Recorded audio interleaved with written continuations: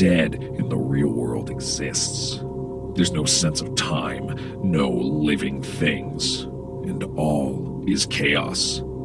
My breathing became heavier and heavier as I walked deeper into the dark realms.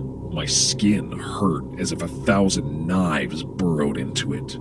I can feel that I am very close to my destination because that smell, that horrid smell from my memory, is becoming more and more overwhelming.